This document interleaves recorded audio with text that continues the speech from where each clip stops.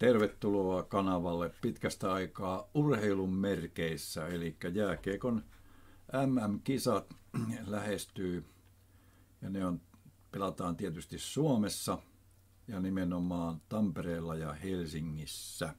Are you listening? Damn. Uh. Ja tuota, 13.5.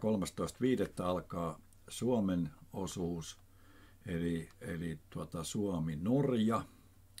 Ja sitten aina tuonne 29.5. jolloin pelataan Tampereella mitalipelit. Ja tietysti me toivomme ja ajattelemme, että ilman muuta Suomi on siellä mukana. Ja toki tietysti yksi suuri asia on, että Venäjä ja Valko-Venäjä puuttuvat tuosta Putinin sodasta johtuen. Ja tuota, tässä vieressä niin on äh, tuota, Patrick Laineen kuva ja, ja tekstiä tuolta Iltalehdestä ja, ja tuota, miksi sitten niin, niin johtuu siitä, että Patrick Lainehan ei vielä, vielä tuota, ole, ole valmistautumassa äh, tule, tule, tulemaan kisoihin mukaan, koska on vähän kroppa huonossa kunnossa, mutta katsotaan nyt, että miten se sitten tästä, tästä sitten eteenpäin menee. Mutta, mutta tota, toivotaan todellakin, että hän olisi sen verran hyvässä kunnossa, että pystyisi pelaamaan. Ja siellä on paljon muutakin porukkaa, esimerkiksi Joel Armia on tuolta Montreal Canadiensista tulossa Henri Jokiharju, joka on 22-vuotias Buffalo Sabresin äh, tota, edustaja Hannes Björninen, Harri Säteri Arizonasta ja Juha Lammikko Vancouverista ja paljon muita näitä entisiä KHL-pelaajia Marko Anttilasta lähtien on tulossa kisoihin. Muut maalivahdit on tässä vaiheessa, niin Jussi Olkinuora, Frans Tuohimaa, Niklas Westerholm, näistä sitten Suomen joukkueen varmaan valitaan. Ja tota, tästä tulee ihan jännittävä juttu. Katsotaan, mitä me saamme aikaiseksi. Kat- seuratkaa kanavaa. Yritän saada päivityksiä tasaisin välein sitten, kun tulee jotain uutta tietoa. Tähän vielä, vielä tota M-kisoihin, niin on tota Jutila, Timo Jutila otetaan tähän ja katsotaan, mistä se ylämummo oikein Helsingin Sanomien tai oikeastaan Helsingin Sanomien haastattelussa niin mahtoikaan tulla. Otetaan tähän pieni pätkä. Ää, tässä mennään varmaan tuollaiseen vuoteen, vuoteen 97, 98. Asuttiin siinä takahuudissa ja, ja tota, niin, poikani Eero meni sitten kolme kaverin kanssa pihapelejä pelaa ja meillähän sai piha, pihassa aina pelata ja hetken päästä tuli sitten huuto, että isä vekkeä päälle ja maali, kun oli tasaparit ja No mähän verin sitä toppasun päälle ja pipa päähän ja pesäpallon räpsä vasempaan käteen ja meni maaliin ja pojat sitten pelasi siinä ja poikani syötti sitten naapuripojalla, joka ampui tonne vasempaan ylänurkkaan, niin se räpsä oli. Ja kaikki pennut yhteen näin, että ylämummo.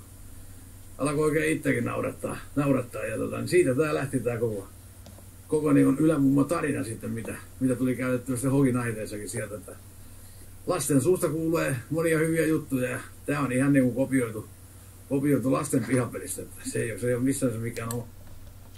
Joo, näin, näin tosiaan. Ja siellä oli vielä tuota, sitten lisänä tämmöinen rakennus, joka, joka, joka tuota, oli tämmöinen vanha Jugendtalo, ruotsinkielisten vanhain koti, ja, ja se oli De Gamlas Hem, ja tuota, se oli sillä puolella, jossa, jossa tuota, sen ke, koulukadon kentältä, niin niin tota se ylämummo, eli siis se oli siellä vasemmassa yläkulmassa, niin tämä oli sillä puolella sitä, sitä kenttää, että se, se oli myöskin tämmöinen hy, hyvä, hyvä juttu tähän, tähän niin kuin lisänä vielä. Ja, ja tota, tämä, tämähän on hyvin, hyvin käytetty paljon, paljon sitten. Ja tuota, täällä, täällä on Ylämummo-niminen aitiokin niin sitten siellä, siellä uudessa hallissa vielä lisäksi tämmöinen tarina tähän väliin. Vielä lisäksi tähän sitten, sitten tota Liionien äh, vahvistuksia NHLstä ja tähän ö, ähm, turnaukseen, mikä, mikä pelataan tuolla Ruotsin eurohokkiturnauksessa, niin sinne on, siellä on aika paljon, paljon tota, niitä, jotka tulevat sitten tähän lopulliseen kisajoukkueeseen. Ja sieltä voisi tämmöisen luettelon katsoa, eli kokoonpano on tämän näköinen. Siellä on tuossa maalivahdit ja sitten on puolustajia.